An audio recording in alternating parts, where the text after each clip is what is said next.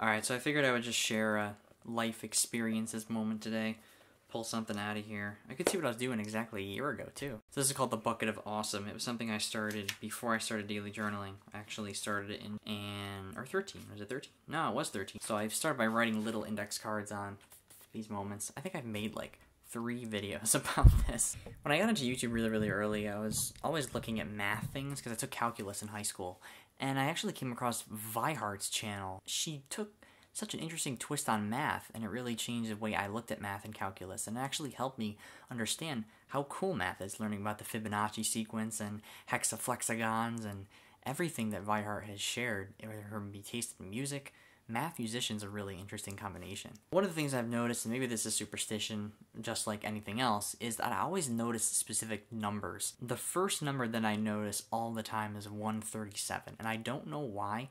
Um, 7 plus 4, 47. It's 3, 4, and 7 for me. Those are the three numbers that I see all the time. My locker number in high school was 137, and I've seen it everywhere. I see it in gas mileage, I see it it's probably because I'm looking for it. There's that old self self fulfilling prophecy thing where you look for the numbers and then you see them everywhere, but it just so happens that they turn up.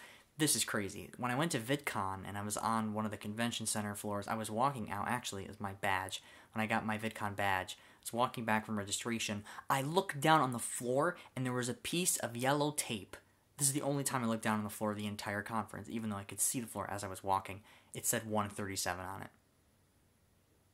7 plus 4 is 11, and that was the year of the big bass attack year in my life at Lake Marge, which is amazing. Do you have a lucky number? Do you have like a number that you see all the time everywhere that doesn't seem to be rare? It just occurs everywhere. It could be superstitious and it could be tied to you looking for that evidence, but I think there's something to do with it. And everybody has a pair that they see all the time. I wonder why. I wonder what the significance of that is just pondering. Just a nice quick question about numbers. That's all. That's all I, I'm thinking about. I do have to, it's 9.35. I do have to journal, and I'm going to try to get up at 5 a.m. I know that sounds crazy, but the past few days I've been waking up earlier and earlier, and I'm getting there. And if I'm in bed by 10, that's 11, 12, 1, 2, 3, 4, 5. That's 7 hours of sleep.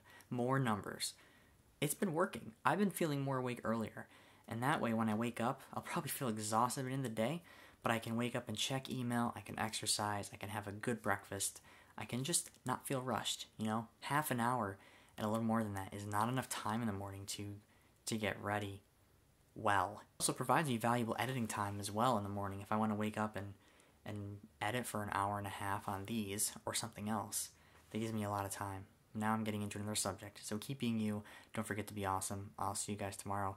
Everybody polka. This is Catch Me Up. I don't have footage for today. Maybe I'll make tomorrow a Snapchat cooking vlog. Maybe. I got some Snapchat footage for cooking. Chicken. Everybody polka.